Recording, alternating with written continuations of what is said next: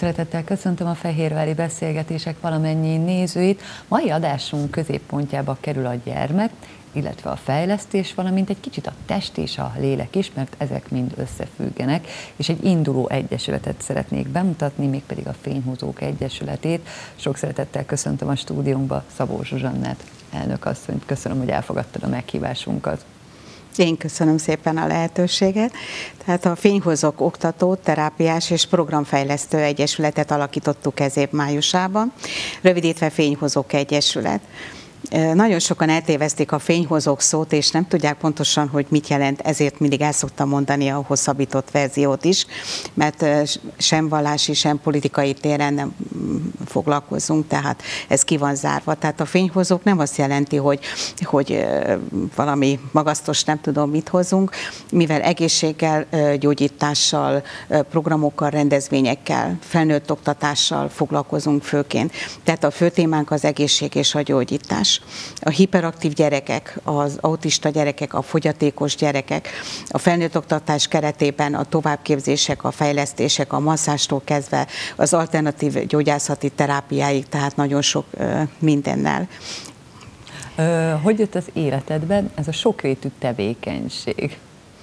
Konkrét tevékenység? Hát jelen pillanatban tanfolyamokat indítunk, kongresszus szeretnénk jövő évben a, a hiperaktív kristály és csillag gyerekekkel kapcsolatban. Hát ez egy kicsikét a misztikusan hangzik, tehát azt jelenti, hogy a most leszületett gyerekeknél nagyon sok a tehetséges gyerek, akiknél a pedagógusok nem ismerik fel az, hogy ez, azon kívül, hogy tehetség, valami más problémát látnak a gyermeknél, és próbálják gyógyszerrel és egyéb más módon kezelni.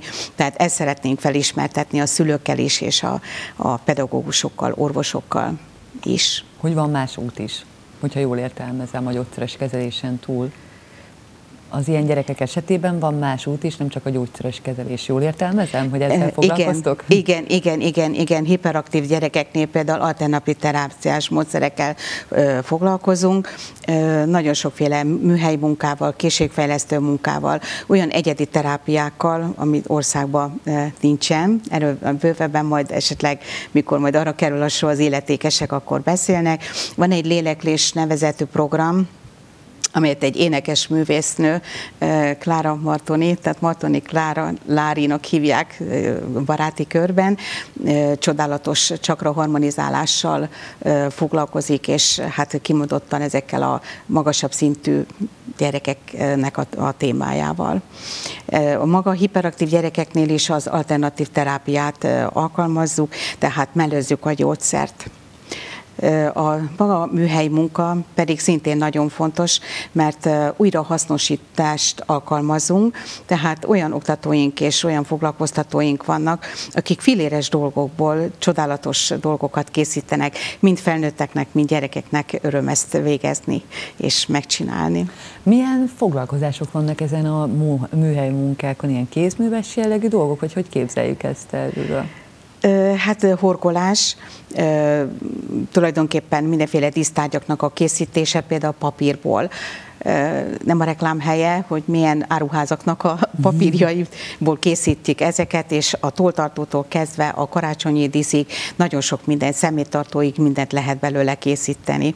És most jön a karácsony, és most ez lesz majd a fő témánk, hogy, hogy ebből karácsonyra akár a szülőknek is ugye majd tudják a gyerekek ajándékozni. Akkor mondhatjuk azt, hogy elég aktív az egyesületi élet már így, ahogy elmondtad, sokrétű foglalkozások tekintetében elég sok minden belefér. Igen, ezen kívül még a, a fonás, a szövés, tehát maradék anyagokból, agyagozás, és hát egyéb más, ami, ami meglepetés lesz, tehát azt most nem nagyon szeretném elárulni. Hogy került az életedbe neked ez az egyesület, illetve maga ez a tevékenység? Igen, nagyon régen foglalkoztatott engem ez a gondolat már.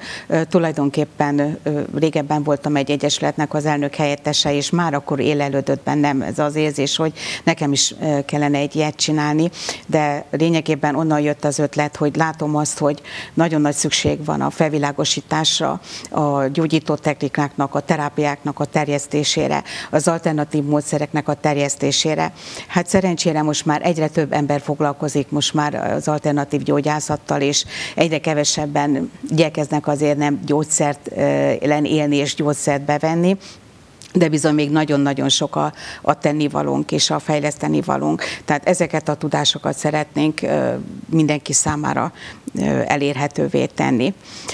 Az egyik része az életemnek tulajdonképpen maga a középiskolai tanár vagyok, a másik pedig, hát azon belül folyamatosan tanultam az érem másik oldalán, tehát az ezotéria területén, és hát nagyon sokféle végzettséget sikerült elvégeznem. Lényegében az a, az a lényeg az egésznek, hogy mennyit tud az ember hasznosítani a gyakorlati életbe. Ugye említetted azt, hogy, hogy, hogy nagyon sokan foglalkoznak ezzel, ez azért a, a beszéd is ment rejtő, hogy azért vannak olyanok, akik mondjuk nevezzük kóklereknek, vagy, vagy nem feltétlenül jó tanácsot nyújtanak.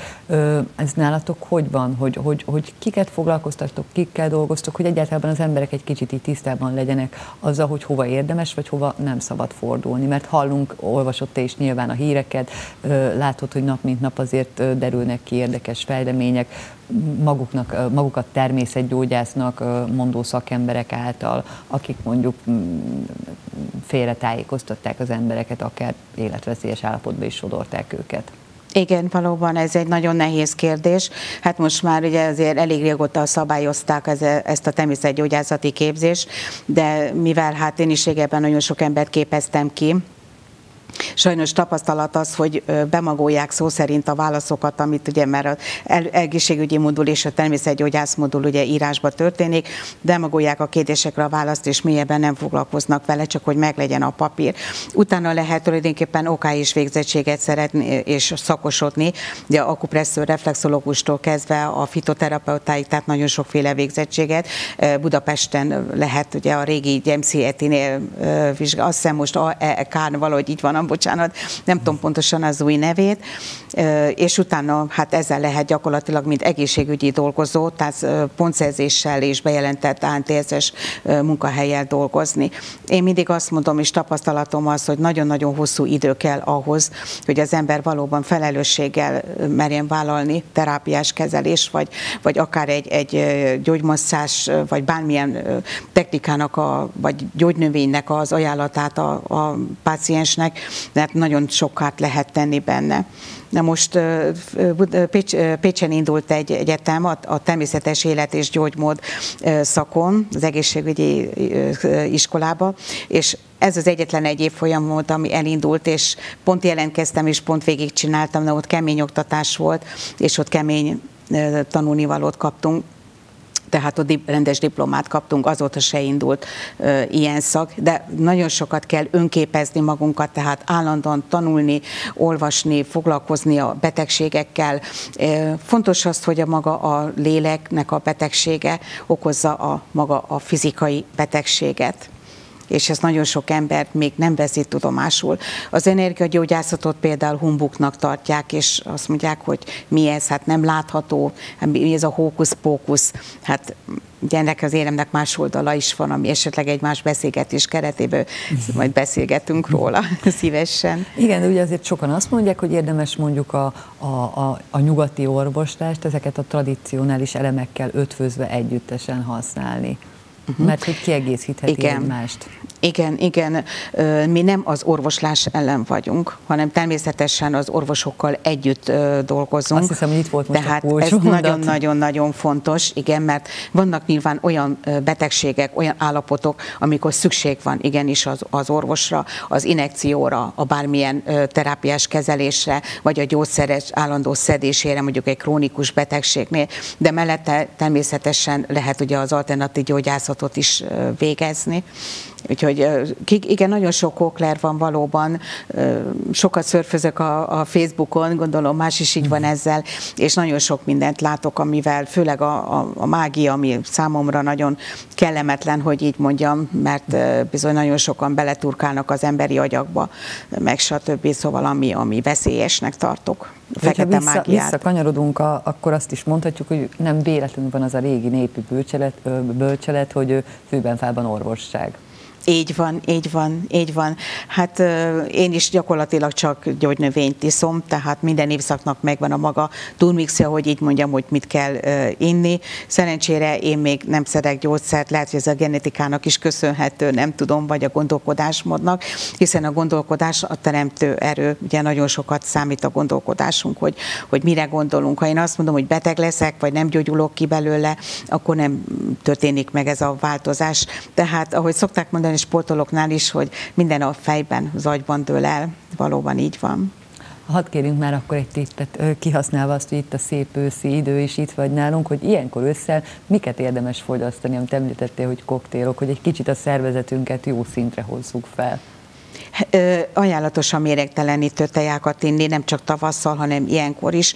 Hát legfőképpen a, a csalán ugye mindenki által ismert. Ez nem azt jelenti, hogy ki kell menni a partra, és akkor és ott összeszedni a csalánt, hanem lehet ugye a fitotékába, tehát a, akár a gyógyszertárba is kapni most már.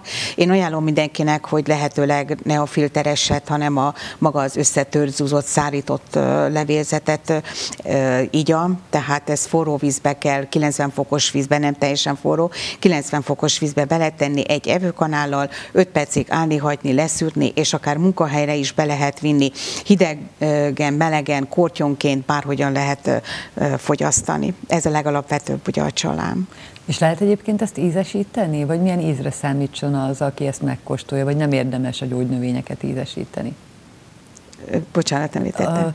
A, csalán főzetet, hogyha mondjuk nevezzük ja, teának. Ja, igen, hogy nem csak tejának, értem. Igen. Bocsánat, igen, nem csak tejának lehet használni, hanem, hanem ugyanúgy ízületi gyulladásra, ugye régen hallottuk, hogy meg Oroszországban most is divat az még, hogy csalánnal ütögetik a hátukat, ugye ez élő csalánnal, tehát az ízületi gyulladásra nagyon jó, de akár krémbe is lehet kapni, tehát valaki ízületes, akkor ugye az a, lehet ugye kenegetni. Természetesen, tehát nem csak belsőleg, hanem külsőleg is lehet használni. használni. Hogyha most visszakanyarodok az Egyesülethez, akkor mondjuk ilyen jellegű ö, dolgokkal is fogtok foglalkozni, oktatással, vagy, vagy a, a, a, egy kicsit a természetet, a, a gyógynövényeket és ezt az ősi tudást közelebb hozni az emberekhez? Igen, tehát a masszás formáktól kezdve, tehát általános, amit mindenki meg tud tanulni, tehát például a talpmasszás, indiai fejmasszás, ez egy nagyon érdekes, különleges módszer. Akkor ugye a svéd masszás általános, ugye mindenki ismeri a, a nem tudom, talpmasszás mondtam-e, tehát a, a masszásfajtáknak a legalapvetőbb dolgait, ez az egyik, a másik pedig a a maga a házi gondozó képzést szeretnénk ugye elindítani német alapfokú nyelvtudással, tehát egy 60 órás képzéssel, magasfokú vizsgáztató tanárral. Erre azért van szükség, mert ugye nagyon sokan mennek ki dolgozni, hát sajnos ugye ez van, és alapvetően fontos a német nyelvtudás, és szükség van házi gondozókra, nem csak ugye kint külföldön, hanem Magyarországon nálunk is Magyarországon azért. is, mert ugye a fiatalok dolgoznak, nem érnek rá, ugye általában este 5-6 óra, amikor hazamennek, és valaki napközben kell, hogy foglalkozzon az időszülőkkel, vagy, vagy ápolja, tehát ezért fontos ez a képzés Magyarországon. De ezen kívül rengeteg továbbképzéssel is szeretnénk foglalkozni, tehát úgy, ahogy mondod, tehát a maga a gyógynövény ismerettől kezdve egészen bármilyen alternatív gyógyászati módszerék, mondjuk akupresszúrás pontokig, hogyan tudsz magadon segíteni, ha fáj a fejed, vagy mondjuk egyed a fogfájás, ami fogorvos, tehát a többit azt, azt lehet segíteni, a fájdalmat csökkenteni, vagy milyen terápiát alkalmazzunk odahaza, borogatás, nagyon kevesen alkalmaznak például a borogatás.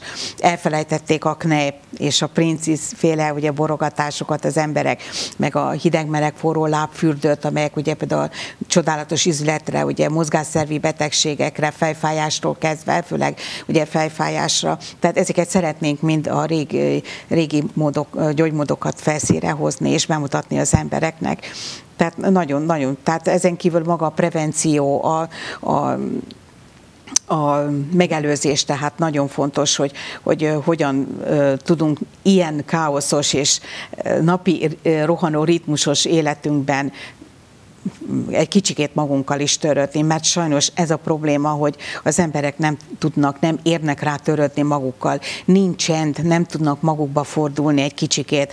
De most nem arról mondok, hogy most relaxáljon valaki, mert meditáljon, az egy külön téma, tehát erre egy családos anya például ugye nem ér rá természetesen. Nem, de talán meg lehet találni azt a lopott pár percet, amikor az ember Igen. csak nehéz, tudom. Nehéz, mert nagyon nehéz Én is küzdök ezzel rendszeresen, de, de érdemes megtalálni azt az 5-10 percet, nem, amit, amit így magára tud mélyen magára fordítani az ember. Igen, hát vannak alapvető dolgok, ami, amiket szeretnénk az embereknek megmutatni, ami otthon még akár TV híradó nézése közben, és bár nem ajánlom, mert közben felidegesíti magát, hogy esetleg olyan dolgokat csináljon saját magán. Lehet TV híradó közben például a kezet masszírozni. A kezünkön is az egész testünk le van képeződve. Vagy lehet ugye a fület masszírozni, az is az, ugye az egész testünk le van képeződve. Vagy amit elérünk a talpunkon, azt is lehet masszírozni. Ezek mind 5-6 perces tevékenységek, és mindennapi rendszerességgel sokkal több elmegy ugye más egyéb bolondságokra, hogy így mondjam, tehát ennyit azért kellene szállni önmagunkra. A beszélgetésünk elején ugye mondtad azt, hogy ilyen kiemelt célcsoport a fogyatékkal élő, a hiperaktív, hiperaktív figyelemzavaros gyerekek, és nekik ilyen speciális terápiájuk. Milyen jelekre érdemes odafigyelni? Szülőként honnan tudjuk, hogy, hogy mondjuk esetleg érintett lehet a gyerek, hogyha már a megelőzést, a prevenciót említetted, hiszen azt gondolom, hogy minél jobb mindenkinek az, hogyha a gyermekről korán kiderül az, hogy, hogy esetleg mankóra, segítségre van szüksége, hogy uh-huh. vissza lehessen terelni őt a kis élet útjára. Igen. Igen, érthető a kérdés, tehát van ő az ADH, ADHD-s ugye gyerekek. Na most ezt két csoportra kell osztani, ezeket a hiperaktív gyerekeket. Az egyik az, amit orvosilag valóban meg van állapítva, hogy agyi elváltozás van, agyi elváltozási tevékenység, ők valóban hiperaktívak, ugye annak is megvannak a fokozatai, de viszont van egy másik csoport, amikor a, a szülő egyből viszi ugye a gyermeket az orvoshoz, vagy a pszichológus, pszichoterapeutához jobban mondva, és megállapítják, hogy a gyerek hiperaktív. Itt egyetlen egy a probléma, hogy rögtön ritalinnal kezelik a gyermeket, ami ugye zombivá, bocsánat, kicsit butává, sutává teszi, tehát a hiperaktivitás azt jelenti, hogy, hogy felfokozott életmódot él a gyerek. Tehát elkezd egy tevékenységet, nem bírja tovább két-három-öt percnél tovább, már megy a másikhoz. A gondolatai ezerszer előbbre járnak, mint a mi gondolataink, és teljesen más válaszokat adnak a szülőknek, mint amit mi elvárnánk. Tehát ők már egy, egy bizonyos fokig már nem tudják elfogadni ezt a társadalmi helyzetet, ezt a szülő-gyerek kapcsolatot, ezt a régi neveltetést, oktatási, régi iskolai ö, oktatási módszert, ami jelen pillanatban van. Tehát kicsit lázadok már, hogy így mondjam. Na ebből ö, születtek aztán, vagy születnek le ugye az indigó gyerekek 1995-ben. Ők már ugye 25-30 év körül vannak. Na ők a mostani lázadók, akik vezetik ugye az embereket, és ugye próbálnak újat behozni ugye sok mindenbe. Utána születtek ugye a kristálygyerekek, ugye az indigó gyerekeket onnan lehet felismerni, hogy az aurájuk, ugye van már aura fotó, hogy az aurájuk ugye India, ugye indigó, jó, tehát kék akarom mondani. A kristálygyerekeknek viszont már fehéres az aurájuk, hát nem beszélve a csilla gyerekekről, ők a 2000-2005-ös időszakban születtek le.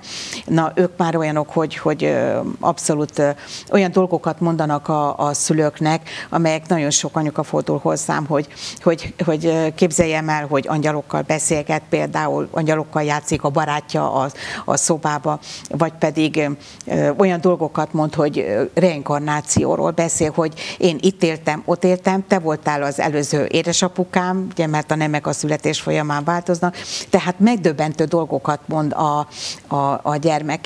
Ezeket csak a legnagyobb szeretettel, de nem majom szeretettel, tehát nagyon fontos, mert el lehet nagyon kényeztetni őket, kell foglalkozni velük. Tehát ahogy visszatérve, tehát fontos az, hogy igen, vannak a valódi hiperaktív gyerekek, ő, nekik is természetesen Ritalin helyett vannak nyugtató teják, ugye, erkölcsies mesék és egyéb foglalkozások, amivel ö, meg lehet változtatni egy kicsikét a gondolkodásukat, hogy így mondjam idézőjelbe, de a másik ö, csoport pedig, amelyet nem szabad, hogy ritalinnal ö, elkábítsuk, mert hát aztán ő belőlük ö, később ö, drogosok lesznek, ugye függővé teszi, a gyógyszer függővé teszi őket. Ez hosszá, na, hosszúra vezetne az, hogy erről mélyebben beszéljünk. De az a lényeg, hogy vannak ilyen különböző terápiás lehetőségek, kiegészítő Igen. lehetőségek, Igen. amikre érdemes odafigyelni. Igen, igen, nem tudom, mondhatom-e, hogy van egy könyvem is erről a, a hiperaktív terápiás könyvről, az a címe, hogy Csillagszemüveg, alternatív módszerek a szeretet jegyében, ez a könyvnek a, a címe, Na, ott le van írva természetesen, hogy milyen esetekre mit használjunk, milyen terápiát használjunk. Na, ezzel kapcsolatban is lesz majd terápiás oktatásunk, eladásokat szeretnénk tartani, tehát ezt is szeretnénk bővíteni, hogy a szülők népfelvilágosultabbak legyenek. Készítettem egy fészoldalt, a Kristály és Csillagyermekek szülei oldalt, ahol hát egyre többen azért jönnek be, és egyre több kérdés vetődik föl, egyre több gyermeknek a képét küldik el, hát fantasztikus dolgokkal találkozik az ember. Sokszor én magam is ugye belástam magam ebbe a témába, de bizony néha én is meglepődöm lepődök rajta, hogy csoda furcsaságok, nekünk furcsaságok vannak. Említetted ugye, hogy írtál egy könyvet, ezzel kapcsolatban akkor mondhatjuk azt, hogy belástad magad a témába. Mennyi ideig foglalkoztál ezzel a témával, vagy mennyi idő alatt készült el a könyv? Ezelőtt tíz évvel készült el a könyv, de még ma is ugyanúgy érvényes. Nagyon régóta érdekel engem ez a, az, ez a téma már. Mondom, az a pedagógiai pályával is összefügg. Igen, van. a pedagógiai pályával függ össze. Én elmondhatom nyugodtan, hogy én nem tanítottam soha, tehát én mindig felnőtt embereket tanítottam, tehát felnőtt oktatással foglalkozok már 20 évvel, tehát OK és képzésekkel, egészségügyi és szociális képzésekkel megvizsgáztatok, de gyakorlatilag, tehát maga ilyen kisgyerekekkel én iskolában nem foglalkoztam és nem tanítottam, de pontosan ezért érdekelt engem ez a téma, hogy sok szülő nagyon sokat panaszkodott, hogy nem jönnek ki a tanárral, nem bírják ezt az oktatási rendszert, például olyan, hogy képtelen az órát végigülni, öt perc múlva már fölpattog, és már behetnékje van, meg beszélget, meg rajzolgat, meg minden, mert unja. Tehát a mai gyerekeknek egy teljesen új, más oktatási rendszer kellene, ezért meg fognak kövezni, hogy az oktatási rendszer bizony jó alapokig le kéne lerombolni, és egy, egy új más szemlélettel oktatni a gyerekeket, túl vannak terhelve. Azt hiszem, ezt mindenki tudja. Nagyon túl vannak terhelve a mai gyerekek. Nincs szükség rá, neten minden fönn van ez egy vélemény volt, tegyük hozzá, és nyilván, nyilván azért van ö, másik megközelítés is, és másik, ö, az éremnek ugye másik oldala is. A, ami másik érdekesség, még így amikor az Egyesületről olvastam, nekem például ezt tetszett, ez a szülőgyermek kapcsolatának erősítése, ö, személyiségfejlesztés, erkölcsi nevelés, akkor ez is hozzátartozik szorosan a tevékenységi igen, körötökhöz? Igen. Igen, természetesen erősíteni kell a szülő-gyereknek a kapcsolatát. Meg ugye egyáltalán a család, családi kapcsolatokat Igen, családokról is. van szó. Sajnos, amit én látok és tapasztalok, ez is egy vélemény. Pláza, mindenféle üzletek, meg stb. Még este hétkor is ott nyüzsögnek a, a gyerekkel, vagy a tévé elé leültetik a gyereket, és akkor nem foglalkoznak vele. Tehát a lényeg az, hogy többet kellene szeretettel, mi történt ma, a lelkét inspirálni, elbeszélgetni. Az elkölcsös mesék ugye azt jelenti, hogy olyan meséket mondunk a, a gyerekeknek egész 14 éves korig, amely dilemmát ad, tehát hogy ő döntse el, hogy most én mit tennék, bék annak a helyébe, tehát nem a béka királyfiról van szó, hanem kimondottan valós életből vett az ő nyelvükre lefordított elkölcsös mesékről. Tehát erősíteni kellene a szülő-gyerek kapcsolatot, szét vannak esve a családok. Én úgy látom, hogy a családi élet most már egyre inkább nem mondható családi életnek, mert mindenki a pénzt harcolja, érthető, ugye, mert ebből élünk, és, és kevés idő jut a gyerekre. Hétvégén is ugye látom az anyukák egész nap, ugye a szombati nap arra megy, hogy bevásárlás, főzés, mosás, takarítás, tehát többet kellene foglalkozni a gyerekekkel. Nagyon nehéz dolog ez, kétélő ez a dolog, nagyon nehéz. De itt is jön talán az a kis trükk, hogy meg kell tanulni talán az időt hasznosan beosztani, mert azért családi életet lehet ö, élni mondjuk esténként a közös vacsora asztalnál, ö, amikor mondjuk elkészül a vacsora, és akkor legalább jut arra néhány perc, hogy a gyerekkel mondjuk megbeszéljük, hogy mi történt aznap az iskolában, Igen. neki mi volt az, ami mondjuk egy nagyon szép és jó pillanat volt, és mi volt, ami, ami egy negatív pillanat volt, és akkor azért, mert egy kicsit foglalkoztunk a lelkével, és, uh-huh. és törődtünk vele, nem? Igen, így van, de sajnos nagyon fáradtak az anyukák, az apukákról nem is beszélve. Egyszerre nincs türelmük, és nincs idegük arra, hogy a, a gyerekekkel mélyebb kapcsolatot alakítsanak ki. Ugye tudjuk azt, hogy egytől három éves korig szocializálódik a gyerek, tehát akkor alakul ki tulajdonképpen az én képe ugye, utána jön a dackorszak. Tehát ha addig nem kötjük idézőjelben magunkhoz a gyermeket érzelmileg, utána már nagyon nehéz. Nem beszélve a tinédzserkorról, a pubertáskorról, a kamaszkorról, akkor már ugye a társadalom, a barátok, ugye ők befolyásolják már a, a gyereket, tehát akkor már nem tudjuk nevelni. Hiába mondja valaki azt, hogy majd én megnevelem a gyereket, nem lehet. Kétféle példát látok, az egyik tisztelt a kivételnek, aki középúton halad, hogy az egyik az, hogy túlságosan majom szeretettel, tehát fogja a gyereket és szinte zsarolja ez sem jó, ugye érzelmileg zsarolja, mert nem lesz önálló felnőtt belőle, viszont a másik oldalról meg a, az elhanyagolás, tehát azt csinálsz, amit akarsz, oda mész, ahova akarsz. Na tehát ezért szeretnénk ezzel is foglalkozni, hogy a, a, a szülőket is egy kicsikét közelebb hozni egymáshoz. Tehát a párkapcsolati, nagyon sok a párkapcsolati probléma, az egészségi problémán és az anyagi problémán kívül. Ugye nyilván nem tudjuk, mi nem foglalkozunk azzal, hogy hogy keresen több pénzt, ugye nem ez, tisztünk, tehát nem kolcsingolunk meg, stb. De viszont maga az, hogy a szeretetet hogy lehet megvalósítani. Tehát maga az Egyesületünk, én azt mondanám, hogy maga a szeretetnek a, az Egyesülete tehát a szeretet útját járjuk minden téren, a segítés, az egészség, a gyógyítás, a fejlesztés. És a harmónia mondhatjuk akkor összességében, nem? Hiszen, hogyha ezek megvannak, akkor már mondhatjuk, hogy harmóniában lehetünk. Így van, így van, önmagunkkal és másokkal hogyha esetleg valakinek felkeltettük az érdeklődését, és ugye mondtuk, hogy ez egy induló egyesület, akkor hol megtalál majd valahol titeket, vagy, vagy Fehérváron fogtok működni? Nem, a székhelyünk egy nagyon uh, ismeretlen, hogy így mondjam, faluban van Akán. A-K-A, ezt mindig elmondom, ez egy egyiptomi istenség. Sokan nem tudják azt, hogy hol van, én sem tudtam, mert én Székesfehérváron születtem, éltem 52 évig, és innen költöztem oda. Ez Bakony sárkánytól 5,5 kilométerre van. Utána jön Ácsteszél, Súr és Csatka, ez a búcsújáró hely, ezt mindenki ismeri. Csodálatos, gyönyörű, szép falu, 245. lakos vagyok, fönn a hegy tetején, tehát látom az egész bakonyt, csodálatos, tiszta levegő, nyugodt környezet, oránként megy el két-három autó, tehát egy, maga a békesség és a földi paradicsom lehet mondani. Tehát mivel ott élek, tehát ott van a székhelye is az Egyesületnek. És ott lesznek a foglalkozások is, vagy azokat mondjuk esetleg Fehérváron is mhm. elérhetik? Nem, nem, nem, természetesen. Mert szerintem az embereket inkább Nem fog mindenki érdekli. kijönni akár, nem, hanem, hanem természetesen országosan. Tehát a honlapunk is most készül, és azon is úgy lesz feltéve minden, hogy időponttal, programmal, tehát akár Miskolc, Nyíregyháza, Kecskemét, Székesfehérvár, Győr, a nagyobb városokat sorolhatnánk, tehát itt lesznek megszervezve természetesen a képzések, a foglalkozások, minden. Tehát mi megyünk a Mohamed Mohamed megy a hegyhez, és nem hegy a Mohamedhez, tehát mi fogunk járkálni nagyon sokat, hogy ne.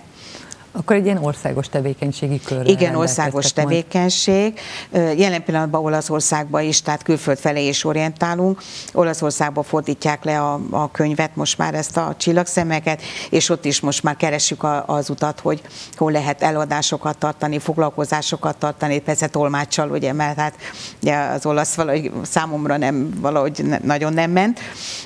Az Ausztria, Németország felé is szeretnénk menni, Svájc felé is szeretnénk menni, fel felkeresni az ausztriai magyarokat, velük is fölvettem most már a kapcsolatot, úgyhogy hát szépen lassan majd szeretnénk kicsit a környező országokba is kibontakozni. Hát én köszönöm szépen, hogy elfogadtad a meghívásunkat, és egy kicsit itt bemutatkozott nálunk a Fényhúzók Egyesület, és hát a nézőknek pedig azt tudom mondani, hogy akkor keressék majd a honlapotokat. Én köszönöm szépen a lehetőséget. Köszönöm szépen, hogy velünk tartottak, fehérvári beszélgetésekkel természetesen holnap is jelentkezünk. Viszontlátásra!